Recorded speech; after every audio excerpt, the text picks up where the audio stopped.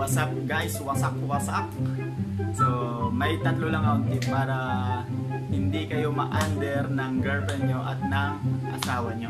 So, una kong tip, huwag kayong matatakot sa galit nila kung inuutosan kayo. Sample, sinabihan kayo, ah, hugasan mo yung mga plato dyan.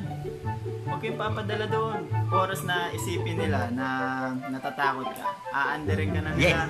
Kaya huwag kayong papadala sa takot. Pangalawa, ah, huwag kayong marupok. Minsan kasi hindi nila idadaan sa takot yan. Idadaan nila yan sa palambing-lambing. Sasabihin, be, hugasan mo nga yung mga plato dyan. Ano, tibayan mo yung loob mo. Huwag, huwag kang maging marupok. Ah, yun lang. Pangatlo, ah, huwag kang uto-uto. Katulad kanina, sabi sa akin, hugasan mo nga Raymart yung plato dyan. Bilis na, bibilang kita ng red horse. Siyempre, ako, ah, mahilig ako sa alak, pero hindi hindi ako madadaan ng girlfriend ko sa ganun. Hindi ako ganun tao. So, huwag kayong marupok, ha? Huwag kayong marupok.